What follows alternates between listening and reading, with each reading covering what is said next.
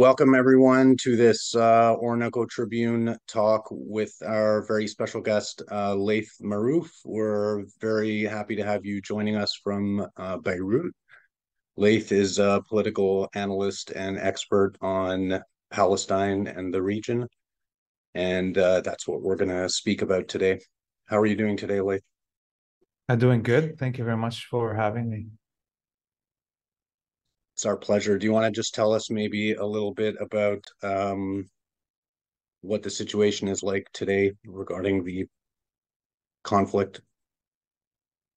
Well, we are have just heard now that there's um, going to be another day extension of ceasefire in the genocide uh, of Gaza, and um, although we were haven't seen any um, clashes on the border or attacks on the border of South Lebanon and North Palestine. Uh, today, the Israelis uh, actually attacked uh, Lebanon, and uh, therefore, we're expecting Hezbollah to be reactivating its uh, responses uh, in the south of Lebanon. Um, and the Israelis yesterday attacked Damascus airport, so that shows that also the Zionists are itching for a fight on other fronts. They're not uh, deterred uh, in their genocidal aims in general in the region. Um, this will probably also lead to responses inside Syria by the Iraqi and Syrian resistance groups on American uh, bases. So we should be, you know, everybody should understand that uh, American soldiers that may be killed in the next few days in Syria are on the hands of uh, the Zionists uh, who are uh, acting in such ways that require uh, deterrence. Um, hostages uh, that Palestinian hostages that are in Israeli jails continue to be released in exchange for Israeli captives in Gaza. Um, we saw today um, I think around 12 uh, Palestinian and Israeli prisoners of war is being uh, exchanged. Uh, the Israelis continue to arrest Palestinians. Uh, they've arrested more Palestinians that they have released since the uh, ceasefire began. And today they killed uh, two Palestinian children in the West Bank. One shot in the head, the other shot in the chest, um, and a Palestinian citizen of Israel, a pregnant woman was stabbed in uh, Al-Lid, uh, which is a, a town, uh, Palestinian town inside 48, uh, just around where the Ben Gurion airport is. Uh, she was stabbed to death, and her child died that she was carrying, of course. so this is the major outlook of what has been happening around the last 24 hours in the region. Hmm. Oh, that's sad. You know, hearing about. I've been every day in the West Bank. There are killings of Palestinian, uh, either children, women, men, elderly. Anyway, so you mentioned Hezbollah. You started when that uh, talked about. I mean, in the beginning, you said, yeah, Hezbollah will probably have a response to the attack in South Lebanon. I think. So, since you mentioned the group, I would like to ask you how Hezbollah features in the political system of uh, Lebanon from like how you know if you would give us a historical background with how they emerged and what they do and what sort of like what sort of system it is in Venezuela sorry in Lebanon I'm thinking with things in Lebanon that allows like Hezbollah to be maybe a part of government I don't know. So I'd like you to talk about that in general like who Hezbollah are and what they do exactly in Lebanon and what they signify for the region? Uh, so Hezbollah is a Lebanese um, liberation movement uh, that uh, arose after the 1982 Israeli invasion of uh, Lebanon and occupation of Beirut, the second Arab capital and only other Arab capital to be captured by the Zionists in war other than Jerusalem. Um, and uh, to contextualize their rise, we must understand that that era after uh, World War II of uh, left and socialist and movements in the Arabic world uh, were by that point defeated.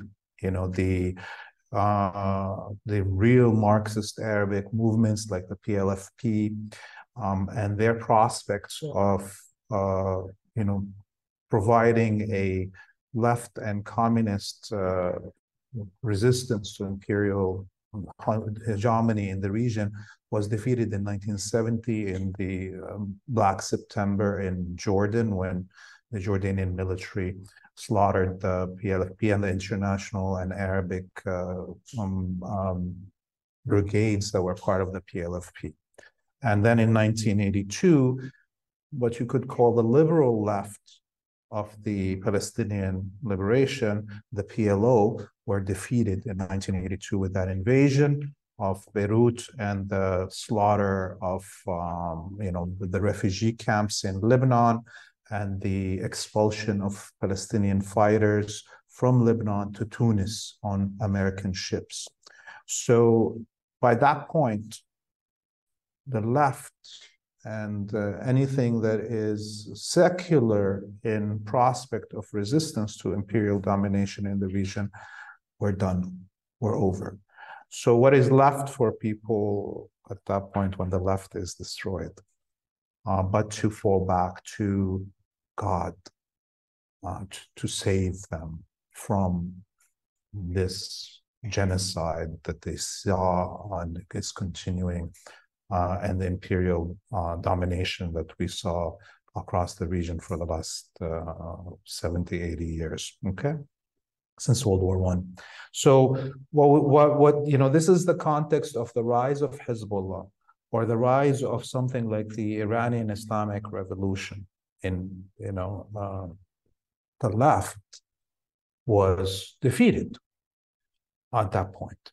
And uh, lucky for all of these people, actually, that a rise of groups like Hezbollah that find uh, strength in faith as a liberationist uh, force.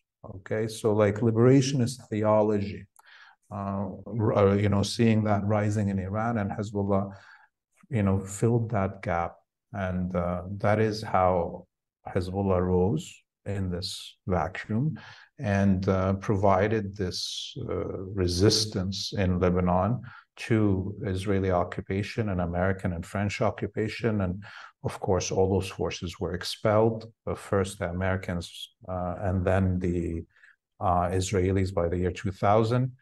Um, so that's the general context of how Hezbollah came to be. But it, they are also credited as the only uh, revolutionary group in the world that liberated a country and did not take political control of it.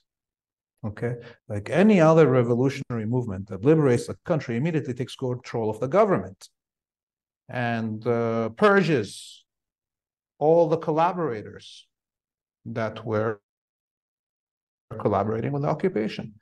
But Hezbollah is credited historically as the only group in the world that liberated a country and did not take the government.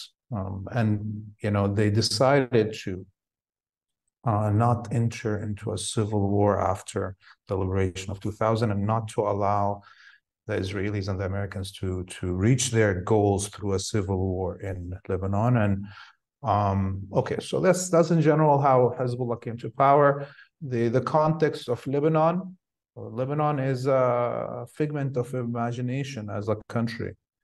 Uh, it doesn't exist really. Uh, what is a state? A state to have monopoly over uh, control of force in its territory. Uh, territory it should uh, have monopoly over the economy um, and uh, its own foreign policy. And none of three have ever existed in Lebanon since its creation um, by the French occupation uh, at the end of World War One. It is a country that is made to not be able to function um, and uh, so what does that mean? That means that it's, uh, such a small country that is cut off from its natural uh, geographic, uh, civilizational, cultural lines of natural Syria. Uh, you know, it it it has uh, because it's such a small country, it doesn't have enough resources to you know have any sovereignty economically. It also has so many uh, uh, minorities uh, in terms of of of um, sector, sects and religions and so forth. And the French took advantage of that. This is the reason they created it this way, um, and uh, made a sectarian constitution that forces a Christian president to be elected, no matter what, uh, a uh, Sunni prime minister, and a Shia Speaker of the House, and everybody has to vote according to their confession, not according to their uh, political affiliation, like what they want to vote for. Um, and the seats are cut up by these 18 sects of Christianity and Islam. By the way, 18 different uh, sects in the constitution and seats reserved for them. Uh, and makes it uh, and and these seats are divided upon the 1942 census. Uh, and they haven't been renewed because if you look at now the, the majority over 50% of the population is shia so they should really have the presidency if it's going to stay into a sectarian constitution um, Hezbollah's uh, candidates that ran for the last election, some of them received half a million votes in comparison to some other seats um, that received uh, less than 2,000 votes and got a seat in the parliament because of the. So, this is the reality of the this non-state that is called Lebanon. Um, it's it's one of the best examples in the world for anarchy. Uh, when when I hear anarchists in the in the West talk about anarchy, I tell them there's only two examples of anarchy in or state of anarchy. Lebanon, which is a uh, you know I don't know how the run country runs, but everybody's safe and there's money and there's shopping, and the other is ISIS. You know. Uh, these are the only two possible outcomes for a anarchist state. Uh, do you know that this uh, idea of segregated electorate, I, this reminded me, I'm from India, and the segregated electorate, this idea also, the British also tried to impose this on India. They did hold one election in India in 1937 when it was still the part of the British Empire along segregated lines. And it was from this that the partition of the country originated. So just like the British and French cut off Middle East in any way they wanted, in the same way they did it in India. But of course, uh, after independence, that constitution, uh, that sort of thing did not remain. So yeah, we are not divided into segregated electorate. But I had heard this about Lebanon, and this reminded me exactly of the same thing. So I mean, colonialism is just copy paste throughout the world.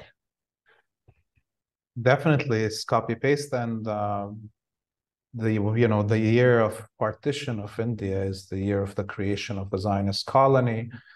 Uh, that year was bloody for all of humanity uh, because you know the the old empires were um, you know it's their deathbed uh, and their last uh, throes at uh, making sure that they ruin the future of these nations for the next hundred years, even if they're leaving. Um, and that's what we see today. We're still living in Palestine, in Lebanon, and Syria, and Iraq. Actually, World War One. It never stopped for us here.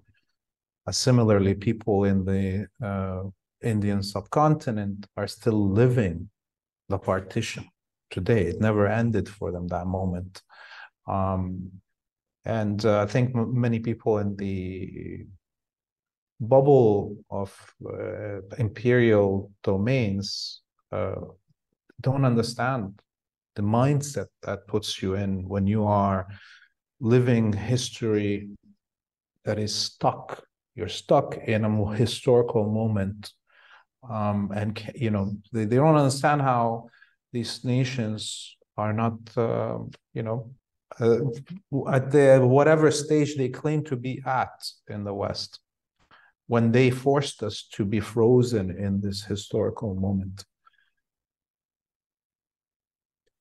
I wonder if uh, we can go back. Maybe you had mentioned um, Syria very quickly, and we could talk a little bit about Hezbollah, and um, um, maybe I can play the devil's advocate a little bit and ask you about the complicated situation. I know a lot of people in the uh, let's say progressive or anti-imperialist camps in the West were hoping that uh, Nasrallah would speak up and that Hezbollah would intervene and save the day um, obviously, and uh, defeat the Zionists and so on. Uh, I think the Secretary General of Hezbollah has spoken twice, if I'm not mistaken.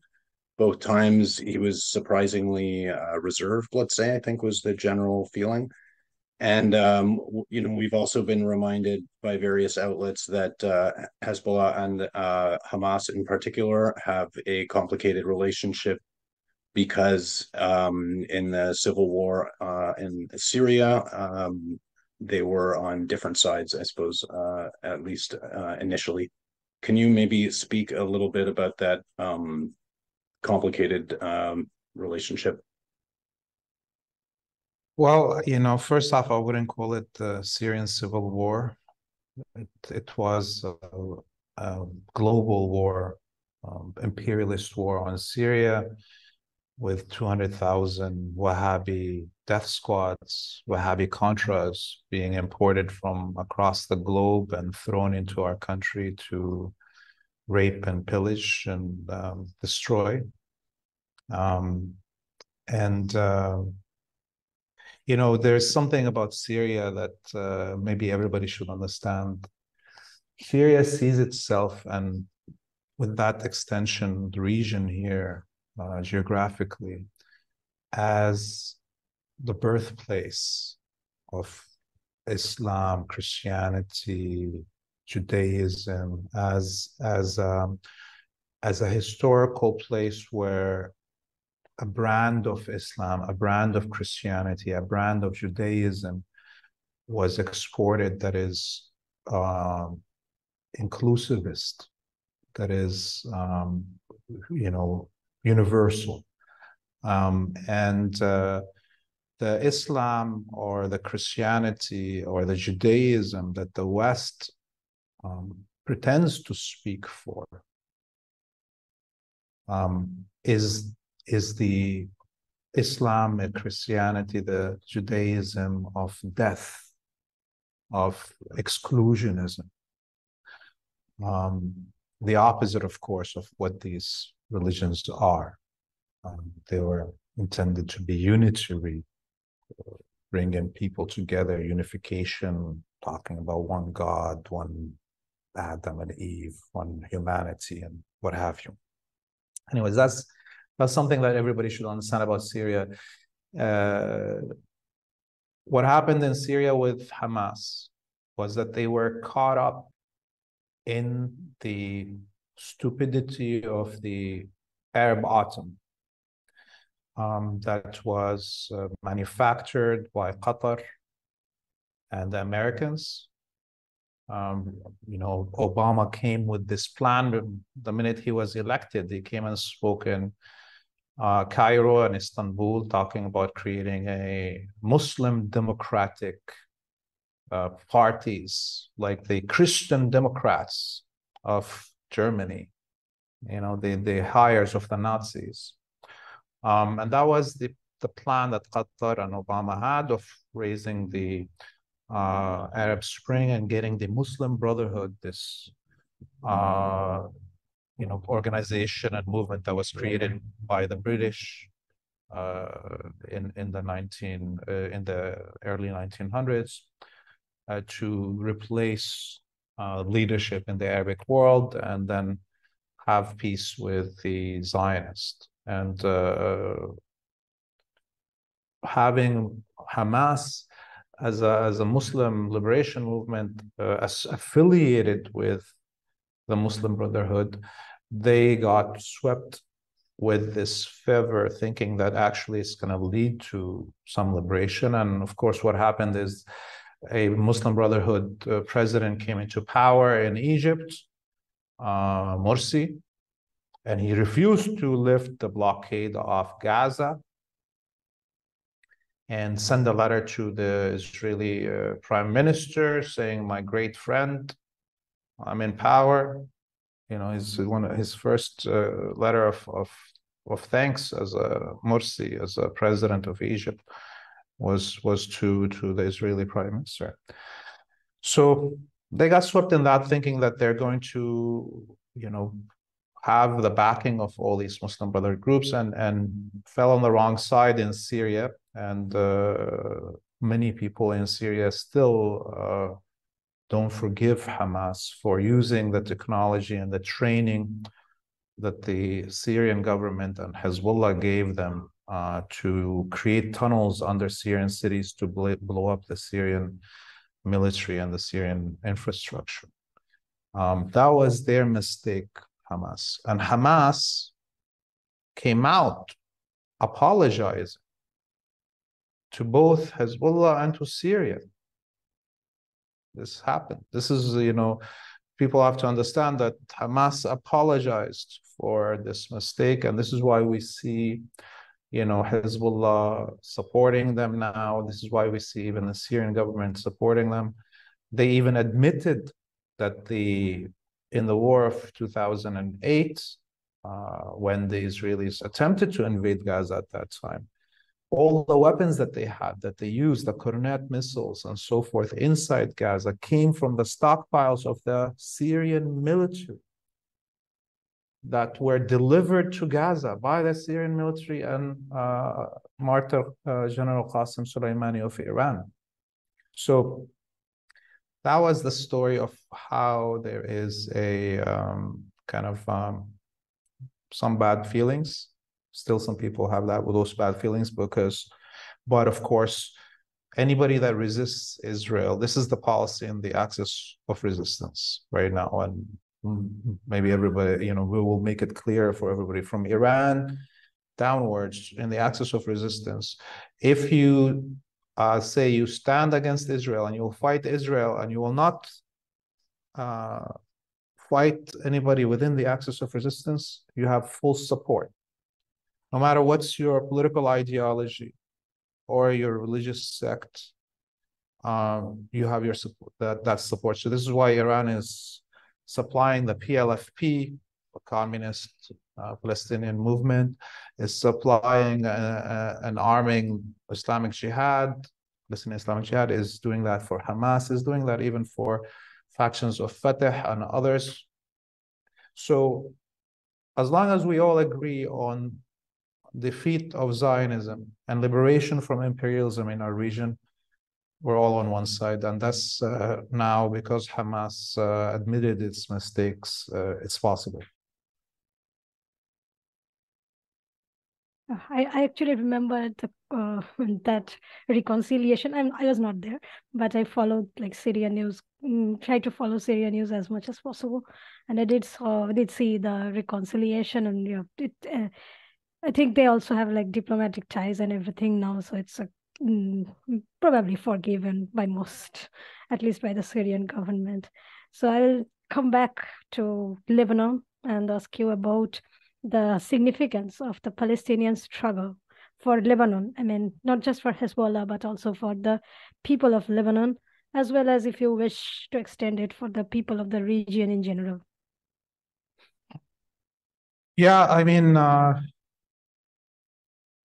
because Lebanon really shouldn't exist, or Syria, or Jordan, or Palestine as as separate entities, because these these uh, countries are one geographic region and have been, uh, you know, families are from across these borders, uh, intermarried. Uh, people used to go back and forth before the rupture of the Nakba uh, and trade and had businesses on both sides and what have you. This is the fate of Lebanon is actually connected directly to the fate of Palestine. Because can you imagine the day that Palestine is liberated? And uh, we had hints to what could have could happen. Um, you know, two years ago, in the in the war of or three years now, 2020, um, when thousands of Jordanians crossed the border into Palestine, and the Israeli military was in chaos, they didn't know what to do.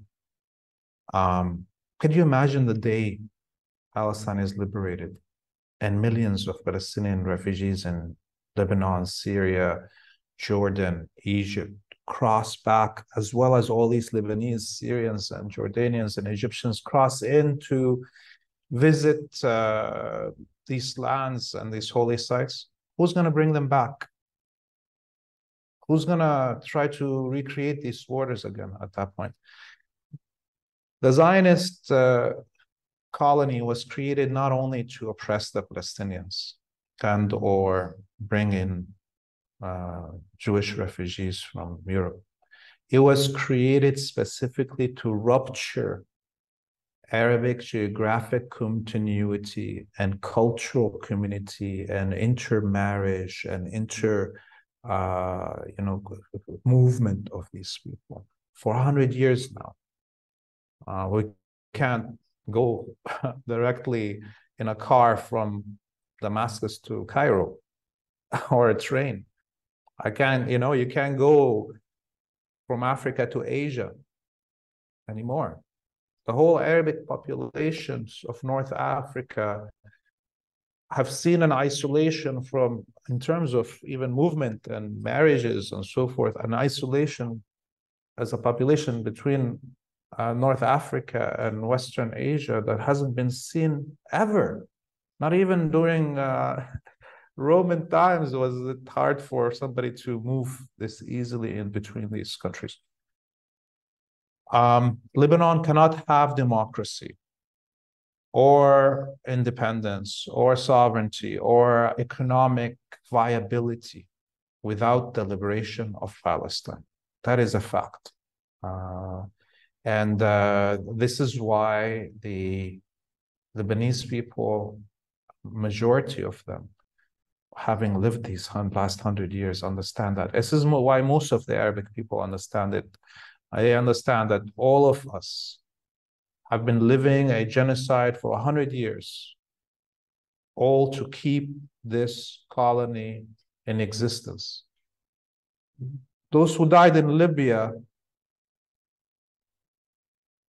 the the you know half a million that died in Syria, the three million that died in Iraq, uh, all of those, the millions that died in Sudan, in Somalia, and Djibouti, all of those died to keep this Zionist colony in existence.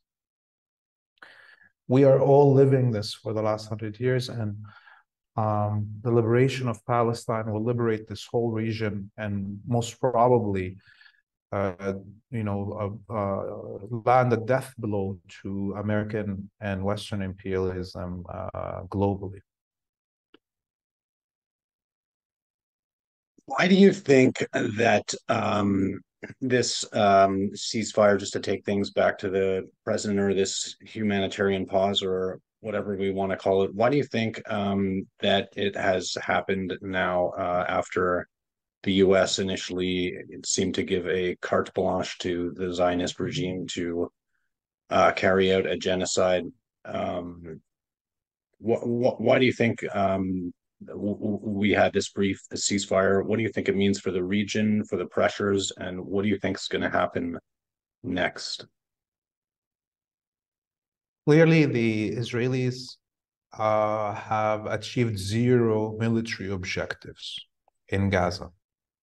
And uh, the only objectives that they achieved was genocide, deliberately killing children and women and men uh, to as as a vengeful revenge for their military defeat on October 7th when uh, 1,000 Palestinian fighters were able to take over, you know, 11 Israeli bases uh, and uh, the, the main headquarters of uh, the Israeli intelligence, military intelligence in, in the south of Palestine, the headquarters of uh, the Mossad um, and the Shin Bet, and as well as the headquarters of the special forces of the Israeli police, uh, what is called the Gaza unit, uh, the SWAT unit of the Israeli police. So all of those were either destroyed, captured, uh, or ran away. Uh, and that was a so what we see is that the Israelis on October 7th had a huge defeat, and since then have not been able to achieve anything on the ground and had uh, huge losses uh, in terms of machinery, uh, close to 70 armored vehicles destroyed uh, in, in their attempt to invade Gaza uh, hundreds and hundreds of uh, dead and injured in their forces. So they couldn't achieve anything. The only thing that was left for them was to actually deliver on their threats of uh, total genocide of the Palestinian population in Gaza, um, their threats of using nukes. Um, and uh, they, they already used enough uh, regular ammunition that is equivalent to two of Hiroshima's. Um, but that wasn't enough to for them to defeat the actual fighters on the ground, and they still can't. This is why they had to stop. But now they're kind of regretting it, probably the stopping, because of how the videos coming out of the genocide that they had uh, perpetrated. We saw the videos of the five Palestinian infants in the ICU uh, of the hospital that were deliberately left to die by the Israeli uh, occupiers.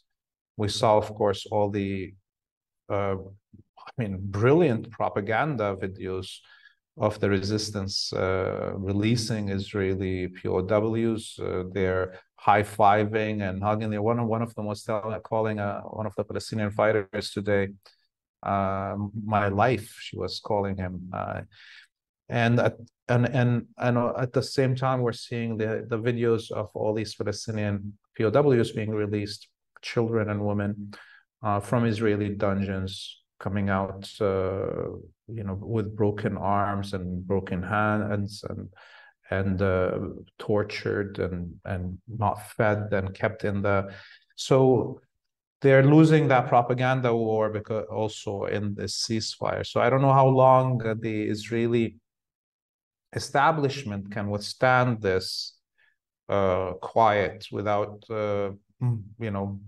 giving uh, or spilling some Palestinian blood as a as a distraction. Um, so we'll see if this this uh, ceasefire lasts one more day.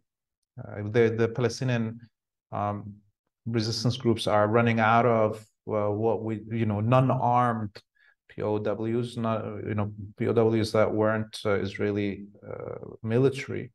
So, and we know that the Palestinian groups said they will not release Israeli military uh, personnel uh, without the complete uh, release of all Palestinian prisoners of war in Israeli dungeons. Uh, that's like close to to to nine thousand Palestinians are in Israeli uh, prisons. Mm. Actually, in the beginning, uh, we are hoping that that would be the situation that all Palestinian prisoners will be released. We had imagined that they would start with children and women, but they'll probably have to release at some point. I don't know. So it is time to see what happens. So since you mentioned, since you talked about the region and Israel losing its face in front of the whole region, I'll also ask you about the impact of this, the whole situation, starting from October 7, but especially the impact of the Hamas victory in all arenas, not just military, but also propaganda, which is very important. So what do you think could be the impact of this on Syria, especially because we already talked about Lebanon, but we can you can also talk about that, but especially on Syria as well as Iraq, because we have seen the Iraqi resistance as well as the Syrian one ramping up their bombing of the military bases that the US has in both these places? The impact uh, on the whole region has been historic, and I think on the whole world. I think we're we're all like uh, gonna remember October seventh as a as a very important chapter in the uh, end of American imperialism.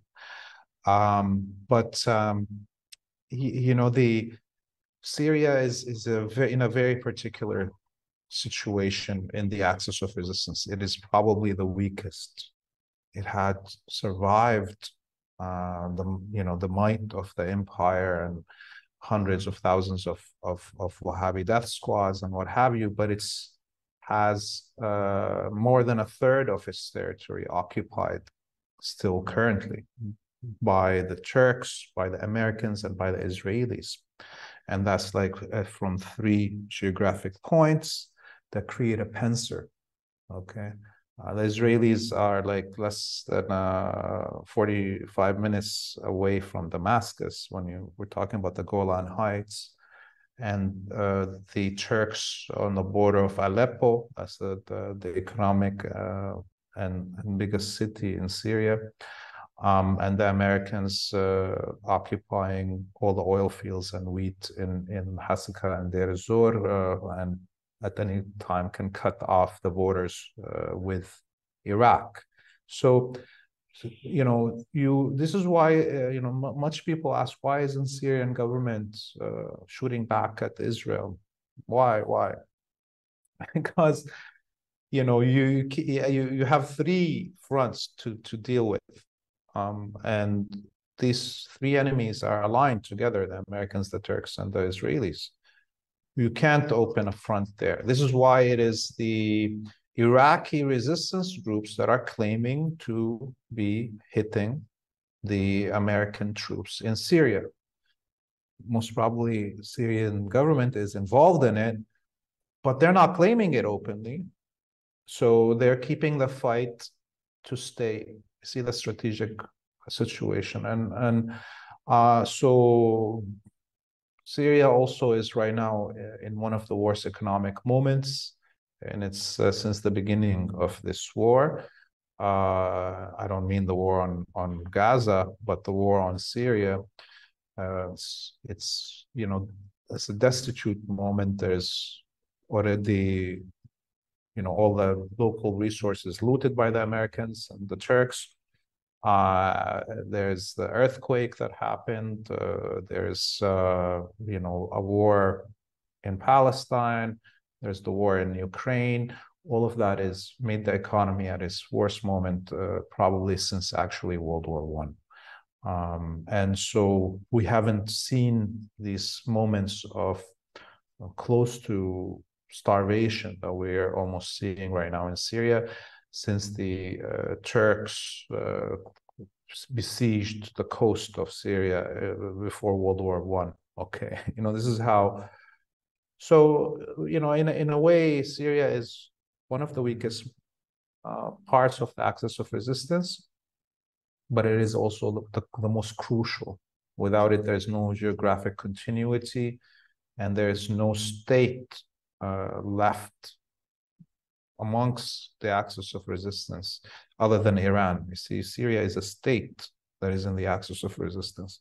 Lebanon is not a, a state that is in the axis of resistance. There's Hezbollah that is. Uh, Iraq is not a state that is in the axis of resistance, but there is uh, the the uh, you know Hashd al-Shabi, the the popular mobilization units. Similarly, Yemen is not a state; uh, is Ansarullah. So this is what is important about Syria and how all of this is affecting it in general.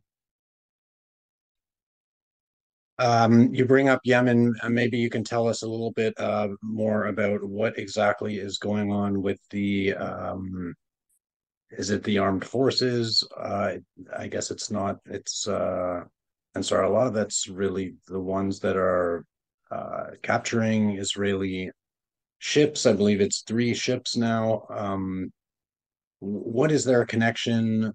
Um, I think it's confusing for a lot of people because we're told that the Houthis are backed by Iran, but then we see them taking apparently independent military action.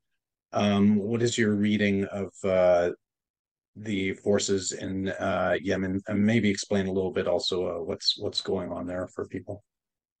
Yeah, so um, Yemen, if you look at the geography of it, you have the uh, the mountain regions, and they they go that go north to south on the coast, and then you have the desert region that goes east to west uh, in the south part of Yemen. And so the majority of the population lives in the mountain region and the coast. Uh, so, uh, and this is the area that is uh, under control of Ansarullah. Um, and this includes the capital, Sana'a, on the top of the mountains.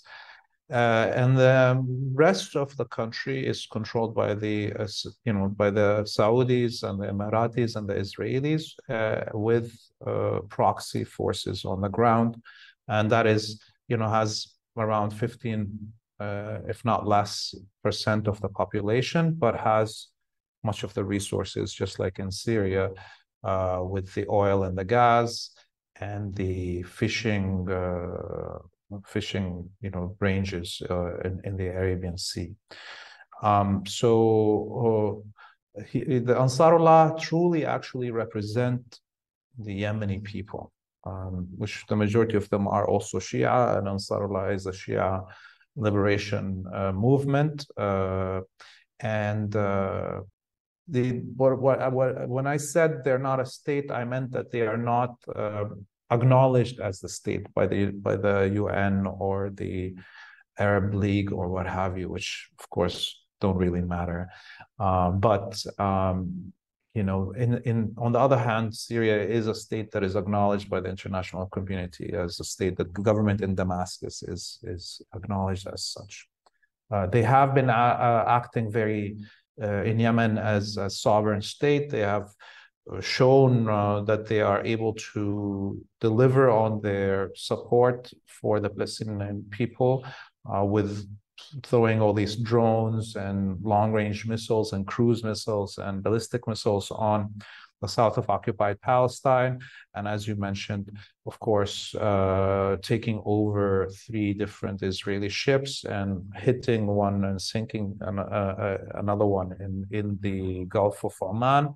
Um, and the Americans are having to basically deal with this, uh, which, you know, it may sound like it's small uh, actions what Yemen did, um, but it really is the most impressive out. It's not. It's not on the border like Lebanon, that you know, it's it's two thousand kilometers away from Palestine, and it's able to change uh, the whole playing ground force the Israelis to put uh, air defenses in the south of Palestine to deal with this, force the Americans to move some of their uh, ships that have air defenses into the uh, Red Sea in order to cover some of that. Forces, uh, you know, now is forcing all the ships that want to go to uh, the Zionist colony coming from Asia or Africa to go all around Africa and the Mediterranean. There's no more. There's no more companies that will give you insurance to send ships uh, to the Zionist colony through the Red Sea and the and the Suez, uh, Suez Canal.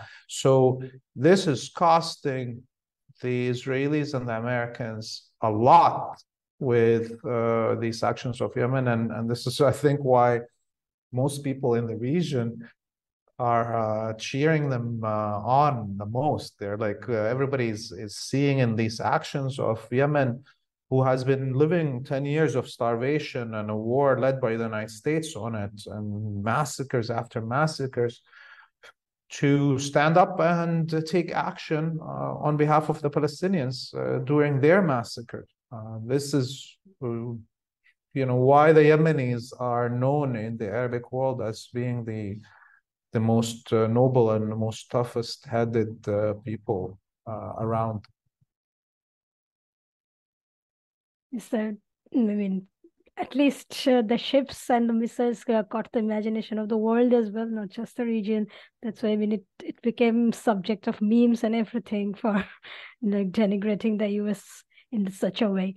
Uh, since you mentioned Ansarullah, well, we'll ask about these groups, not just Hezbollah, but also Ansarullah and uh, Hamas, as you know, these in the West, they are called terrorist organizations.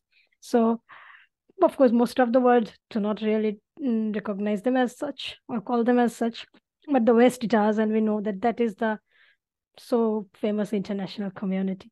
And anyway, so I'll just ask you whether, as Hamas is a legitimate Palestinian movement and not a terrorist organization. Similarly, for Ansarullah, whether it's a legitimate Yemeni resistance movement and not a terrorist organization, as the US claims and wants most of the world to say. Yeah, of course. Uh, you know, this word terrorism, uh, the first time it was used was when describing uh, the French Revolution uh, revolutionaries going after the lords and, and what have you in France. So you could clearly see that the use of this word is always associated with uh, elites, uh, oppressive elites trying to denigrate resistance to them. That's for the most part. Uh, of course, there is uh, a lot of terrorist groups that are under the CIA command, uh, and that includes all the Wahhabi death squads on this globe, from Al Qaeda to ISIS to Boko Haram to what have you. Uh, and those are real terrorists that are terrorizing populations to to fit American um, imperial narratives and domain uh, domination in general. But Hezbollah is not a terrorist organization. Hamas is not a terrorist organization. Ansarullah is not a terrorist organization. These are organizations that uh, have legitimacy from their populations that provide uh, social uh, services above and beyond liberation um, that fill the gap uh, left by the imperial uh, schemes and, and attacks on these societies. You know, uh, Yemen is at a crossroads of the world, such, and, and it has uh, great agricultural uh, sectors, it has oil and gas. It should be a global hub that is prosperous. Okay. But for a hundred years, uh, and certainly since they're you know they fought the british out in the 60s they're being made to pay uh, for their uh, success in expelling the british with these war after war that the saudis and the americans keep on uh, creating for the country uh, and and without a group like ansarullah to come come in and uh, provide these social services above and beyond their their uh, carrying arms to liberate. They wouldn't the yemenis wouldn't be able to liberate themselves. And also ansarullah wouldn't be uh, getting the legitimacy from its population. If hezbollah doesn't fill the gap of this non-existent state called lebanon that cannot provide any services, let alone uh, put a light on the traffic light for for for us to. Uh, much of the population of the South will not only be still on under occupation, but they will be destitute uh, and and not able to provide from themselves for themselves. Uh, and so, while, for instance, I may say I'm a left, uh, you know, communist, uh, whatever you you know I cannot deny that uh, these groups are legitimate and uh, they are using liberationist theology, which is the what we all when anybody wants to talk to me about religion, I this is the kind of religion that I believe in.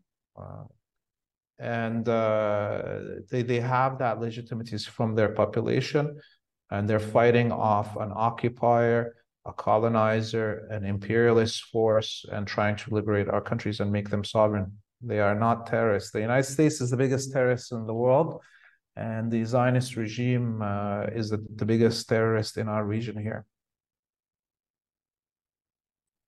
Um, as you know, uh, Orinoco Tribune is based in uh, Caracas, where we have our headquarters in Venezuela. Um, speaking of the greatest terrorists, we were having an interesting discussion about some comments that um, some Latin American leaders made. Specifically, President uh, Maduro of Venezuela said that uh, Zionism was more dangerous than Nazism. And um, President Petro of Colombia made a similar comment, said uh, it was worse. Uh, what the what the Zionist regime was doing was worse than what the Nazis did. Um, how would you comment on that? Do you? I mean, my my general feeling was was that it was just. Um, it's difficult to make an argument like that to people in the the the West or the global North or or whatnot. Perhaps it's different in other um, in other places what what would you be your response um, to someone saying, you know, um, what, what what's worse? Asking what's worse, uh, Zionism or uh, Nazism? Uh, you know, I think the most of the world is first off sick and tired of hearing about the crimes of Nazism 80 years ago as if they're still happening right now. There's more movies and TV shows being made about Nazism every year than yeah than anything else. Okay, uh, especially when we're talking about uh, the crimes that are being committed now by Zionism and the use of Nazism as a cover for you know the crimes of uh, Zionism. Uh, I'm gonna say something that I don't think uh, that most Palestinians have thought and don't dare say, and uh, may get us all in trouble. Okay. There is a direct connection, not between only Nazism and the crimes of it and the crimes right now of Zionism, but there's a correct direct connection between Zionism and the creation of it and the creation of Nazism. How do we how do we say this? Why would we say this? Um, everybody knows about the Balfour Declaration made uh, by Lord Balfour, the Foreign Affairs Minister of the United Kingdom, to uh, to who I mean, they know that there's a Balfour Declaration saying that they're, you know, going to create a Jewish state in the land of Palestine. But who was this letter, the Balfour Declaration, written to? It was written to Lord uh, Rothschild of Germany, the greatest Jewish industrialist in Germany, uh, you know, prior to World War One. And uh, why would Balfour write Lord Rothschild this letter? Because before World War One, the Zionists were shopping for an imperialist uh, sponsor, and they had knocked on the doors of the Germans, the Austro-Hungarian king, the German king. In fact, Herzl had uh, chased Herzl, the founder of Zionism, chased the king of Germany across uh, in, in, his trip to, to the Ottoman Empire, chased him from Istanbul to to Haifa to Jerusalem, so on, just to get a picture with him and try to convince him to uh, to to to to speak to the Ottoman im, im, uh, Sultan uh, to convince him to give Palestine to the Zionists. This is a story, by the way. I'm I'm diverging here a little bit. And uh, Theodore Herzl uh, uh, photoshopped a picture with the king of uh, Germany. It's the first photoshopped political picture known, by the way. Anyways, in his desperate attempt to show some legitimacy. Point is, the Germans refused it. In the middle of World War One, uh, the British Empire was getting bankrupt. It was losing the war the uh, Austro-Hungarians and the Ottomans were winning the war, and they uh, the UK couldn't finance its war efforts anymore. It didn't have enough money. Lord uh, Rothschild came to Lord Balfour and promised him. He asked him, if you can promise me Palestine at the end of World War One for the creation of a Zionist colony, I will withdraw all my money and ask all the other Zionist Jewish German industrialists with me to pull all their money out of Germany, Austro-Hungarian Empire, and stop all our factories and finance the British war effort. Okay. So Lord Balfour, seeing the money come and the Zionists pulling their finances out of the Austro-Hungarian Empire and crashing its economy, made the Balfour Declaration to Lord Rothschild. So let's now, what happened next? The Ottomans and the Austro-Hungarians lost the war. And the Germans were put into a humiliation, right? Everybody knows the humiliation of the defeat of Germany and being disarmed and pieces of it given to everybody, cut off and given to every victor. And the German elite didn't forget that it was the Zionists that crashed their economy and made them lose the war. So Zionism birthed Nazism. Zionism is responsible for the birth of Nazism. This is something that people are scared to say. And the Holocaust of the non Zionist Jewish Europeans was a result, direct result of Zionism. And the Nakba of the Palestinian people is a direct result of Zionism. This is the circle.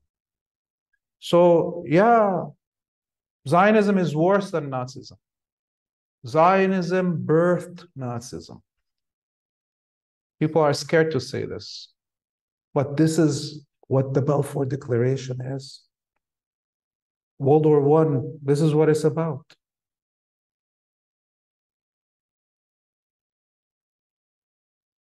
So it was the Venezuelan president was not afraid to say it. I mean, maybe he was not thinking of all these things, but still he managed to say that. And uh, Venezuela does not have relations with Israel and does not recognize it.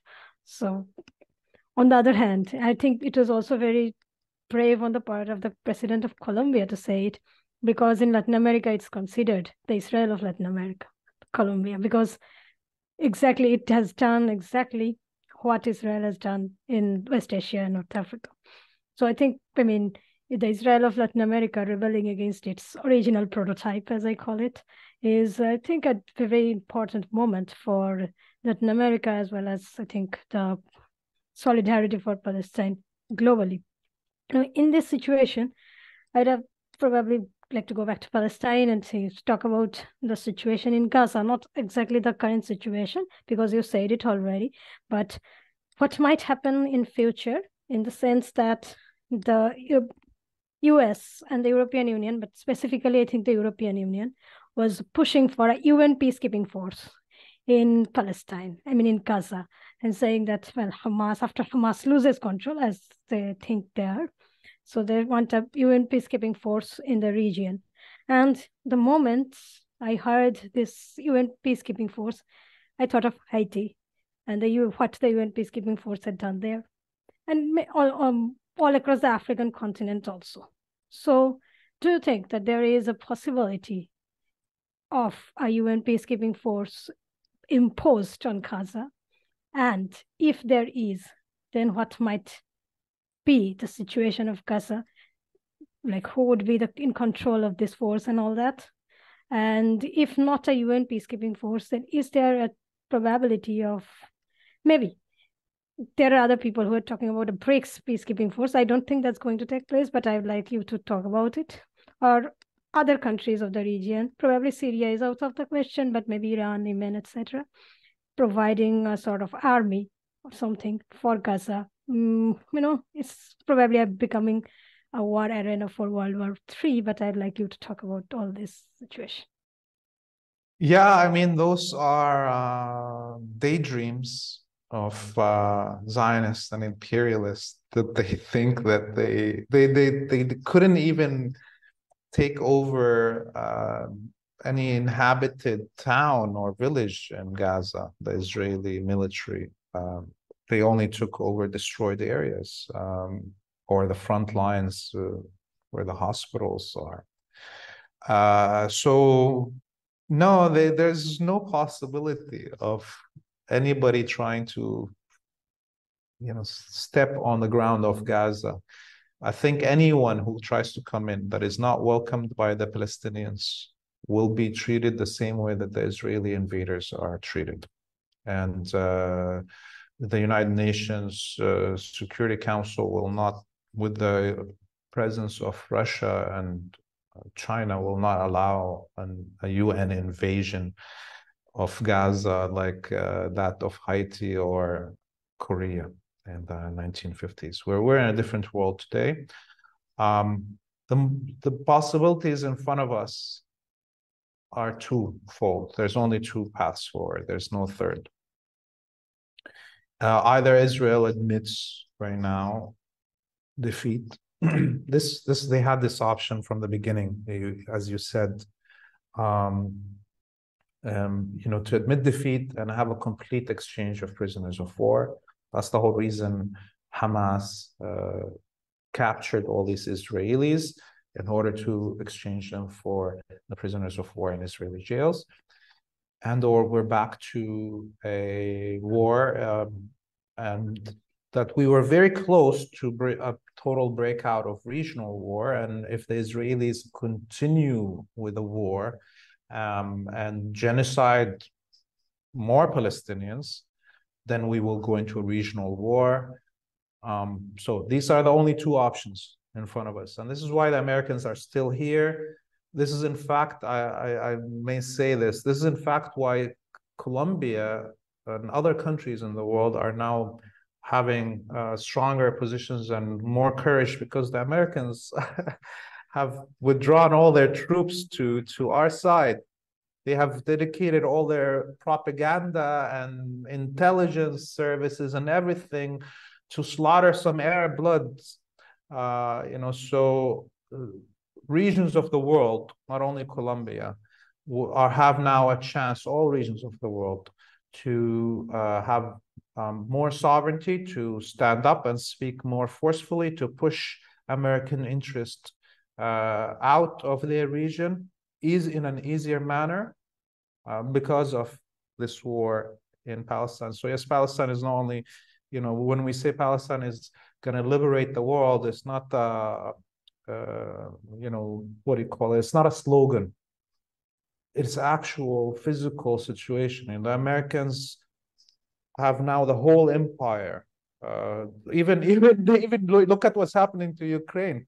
They're going to lose their country any minute now. The, the Americans are abandoning them to defend this colony, which is the cornerstone. The cornerstone of imperial order is this Zionist colony. It's the cornerstone of the white supremacist identity. Okay. Uh, without this existence of this colony, uh, the imaginary white man that was fabricated cannot exist.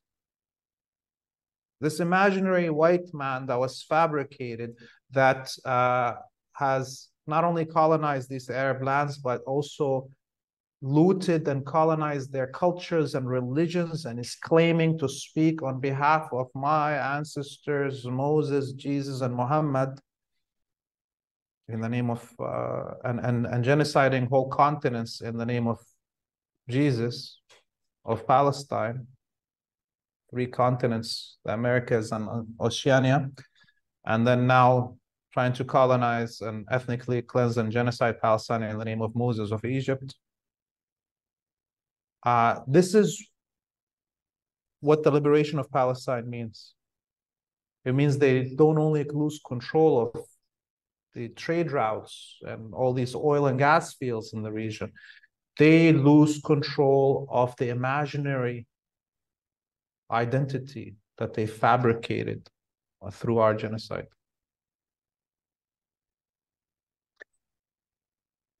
Uh, yeah, those are big. Those are big topics. Um, we're we're as always as part of our tradition here. We're going uh, over our, our time, but maybe we have time for one more question, um, which is uh, something I've I've been asked a lot about. What is the relationship between the West Bank and Gaza? What is going on in the the West Bank, and is there a chance? Uh, I, I think in 2020 it was. Um, that we saw um, some, uh, I guess, celebrations about the uh, regarding the solidarity that the West Bank showed with the genocide on Gaza at that time. Um, what what is happening in the the West Bank, and is there a chance that um, there will be uh, uh, an uprising, an intifada, or some display of solidarity that could change the course of this um, conflict? Yeah, I mean, the West Bank on a daily basis uh, since the beginning of this war on October 7th has seen uh, demonstrations and uh, operations attacking Israeli positions. This also has seen many attacks by uh, Israeli settlers um, protected by the Israeli military um, and there's at least uh, almost 300 Palestinians killed in the West Bank in the last uh, six weeks. Um, and um, on a daily basis, you know, Ben Gurion, uh, Ben Gurion, Ben Gvir, the Israeli Minister of Internal Affairs, is going from one settlement to another in, with trucks full of weapons and handing them over to the colonists in the West Bank in front of all the uh, you know the, the media. And uh, as soon as he does this, these these uh, gangs, uh, you know, raid all the Palestinian small villages that are around them and try to chase Palestinians out. There's been at least four or five. Uh, I lost count right now. Uh, Palestinian villages that have been depopulated over the last six weeks in the West Bank.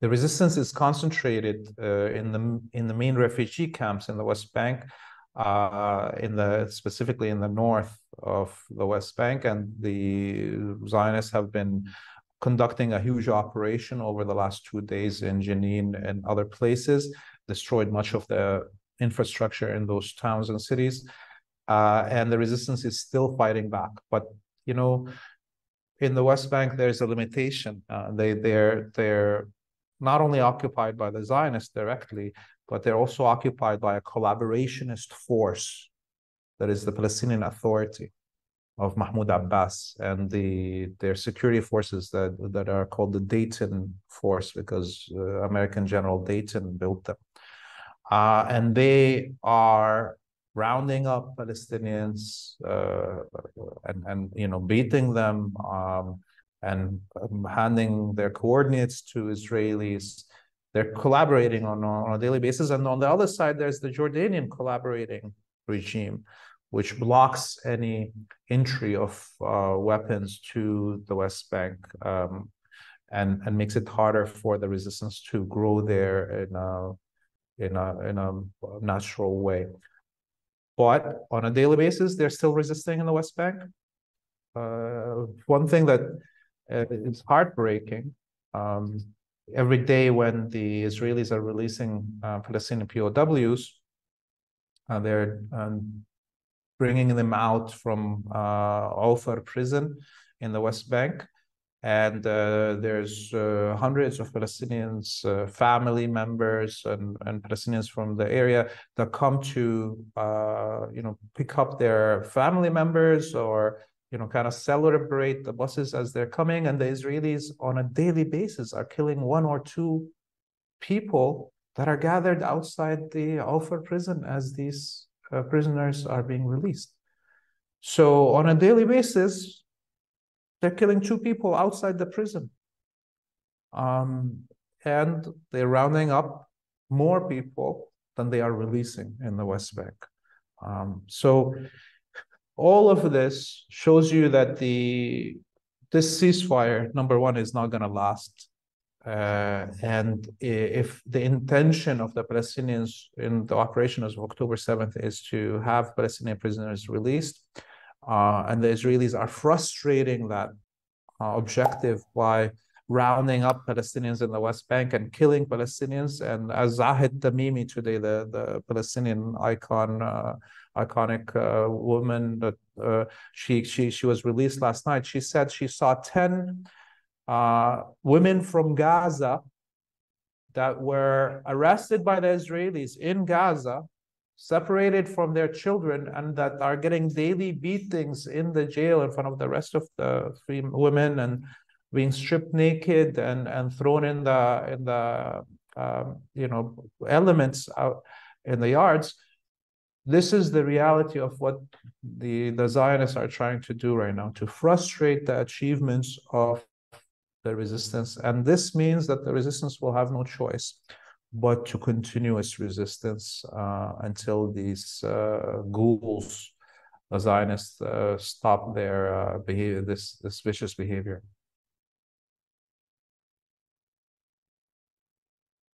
So, like, since they have already, I mean, the Israelis have already arrested more people than they have released, while one of the main aims of the October 7 operation was to have all the Palestinian prisoners released from Israeli prisons. So, do you consider mm, the October 7 has achieved anything? Um, I mean, apart from the prisoner exchange, what other achievements that it might have had? Um, so what it's, I think you already said what it will happen, what might happen in future, but how do you see the course of this unfolding in very near future? October 7th from day one had permanent achievements. Um, no matter what uh, came after or what's unfolding right now, uh, the Israeli military has uh, suffered its greatest defeat since the creation of the Zionist colony. Not there hasn't been any war, but you know, 1967, 1973, 1982, whatever. Count any war that Israel conducted against the Arabic peoples in the region. They have never lost 12 generals as they did on October 7th. I mean, it, it was a we're talking about uh, 12 brigades. It's, it's basically called an army. What they lost is an army. 12 brigades they lost that day. Um, so that's there's no going back from that. It showed that a Palestinian resistance, uh, if it continues, could defeat completely the Zionist colony with no help from outside Palestine. If this continues on this path, for you know, uh, and that the Zionist colony needs the backing of all of the empire and its might. Two, uh, you know, aircraft carriers and nuclear submarines, and the biggest armada of ships uh, gathered since World War II in one place to defend this colony against the Palestinian resistance in Gaza, in the Gaza extermination camp. So these achievements are permanent. Can't uh, go back in time on that. And this already shows that the end of the Zionist colony is foretold. It's about how will this Zionist colony end? Will it end the same way as South Africa, where the you know the Jewish supremacist elite accepts equality. A big chunk of them go to another land where they can continue to be, have uh, supremacy uh, as white people, whether it's in Canada, the US, or Australia, or or any of the European countries that they came from, and some of them will stay accepting equality. That's one option. The other is, as we see, they want to have nuclear holocaust. They want to bring a world war. But in the end, the Zionist colony will cease to exist, whether it's with a genocide en masse of this whole region that, you know, uh, to end it, or they accept this uh, equality and, and, and live in peace. But I don't see them choosing number one. Um, and neither the Americans will choose number one because it is an end for their imperial uh, hegemony on a global scale. Laith, I wanted to thank you for uh, joining us today. I want to thank all our supporters at OrinocoTribune.com. We're entirely dependent on you uh, to keep going. So thank you for liking, sharing, and donating. Um, and uh, thanks for tuning in today.